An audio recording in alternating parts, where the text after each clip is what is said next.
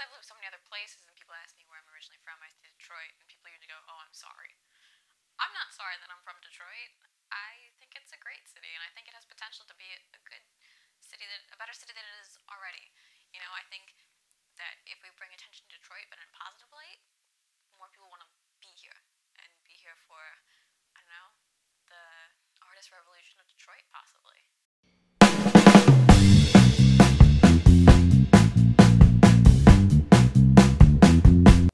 My family, my culture, my background, my community. Uh, I'm Irish. I'm an Irish American citizen. I think that's very much influenced my style. The Celts were storytellers. I'm a storyteller, so I feel like their fairy tales have inspired um, my own stories. Uh, things that have happened to my family have definitely inspired my own stories.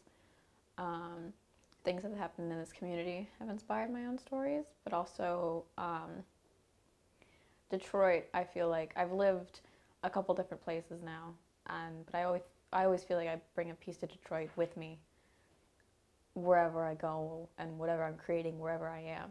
Detroit has this very this edginess to it, but it is a resilient city. So I think I like to incorporate that into my work as well.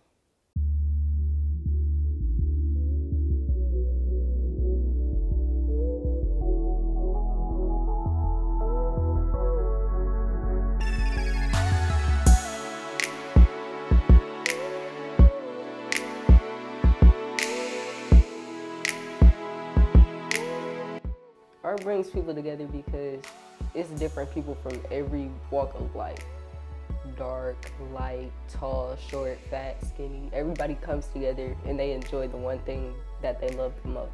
I like to explore relationships with people, but also uh, how complex people can be. People aren't just black and white.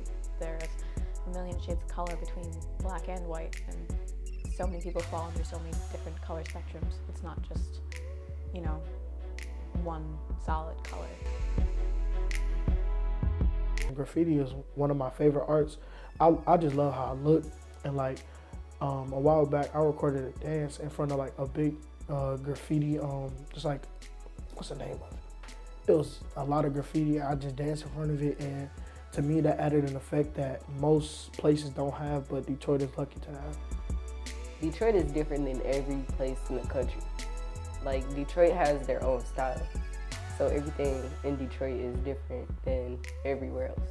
I believe society does need art to survive because it lets everybody's individuality be expressed and it doesn't let everybody stay like the same and be uniform. It lets everybody express who they are.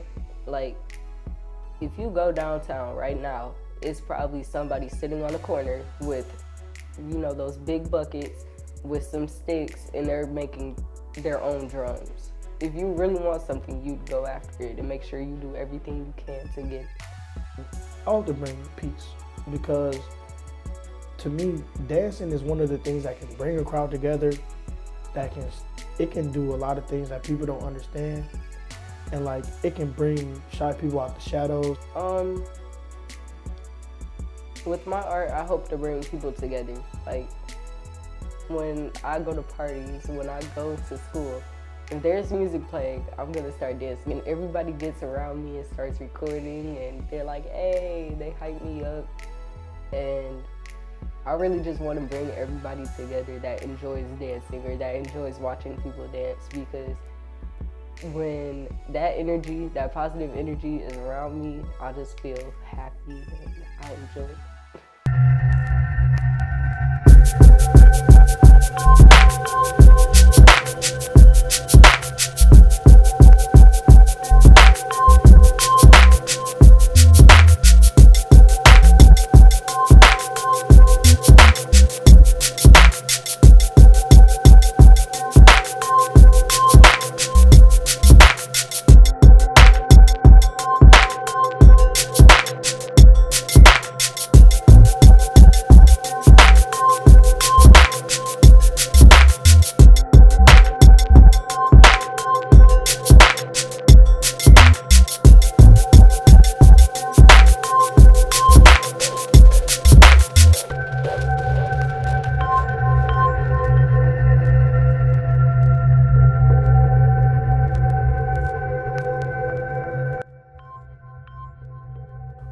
is flavorful. Art is individuality. Art is freedom.